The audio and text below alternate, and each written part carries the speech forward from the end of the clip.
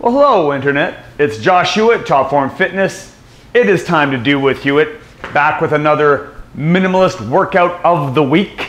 And the format I've been doing these so far is just showing you guys one main set of each exercise and letting you know the laydown of as far as how many sets and reps you want to do. But I did want some feedback from my viewers. Is this the best way to share these workouts? Like just show you the one set and you get the basic idea, keep it short and sweet?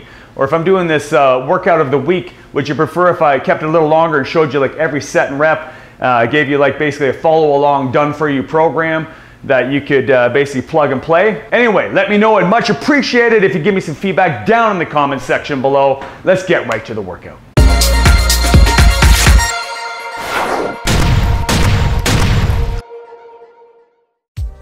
So the three exercises I've selected for this week's minimalist workout of the week are the hex bar deadlift, the lat pull down, and the seated dumbbell overhead press. So as usual, I'll be performing three to four circuits of this workout, working in the six to 12 repetition range, but starting with a lighter warm-up set. And after my last set, I'll be drop setting the weight and performing as many reps as I can uh, once I've hit fatigue.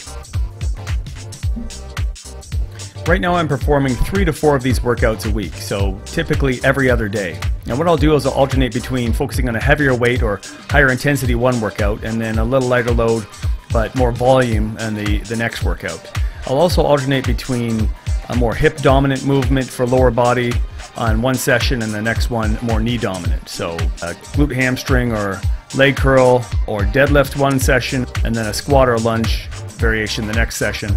And for the upper body, I'll typically do a vertical push pull one session and a horizontal push pull the next. So even considering that this is a high frequency program and I'm hitting the full body every workout, so far I've found that I'm recovering very well and making great progress. And there is a lot of evidence to demonstrate that high frequency training definitely has its benefits, especially for natural lifters. But the main benefit of these workouts for me so far is still the, the mental aspect. I find it refreshing to change things up, and it's easier for me to stay focused and motivated in the workout when I know I can get in and get out in record time. And I'm enjoying the fact that I see my strength increasing once again.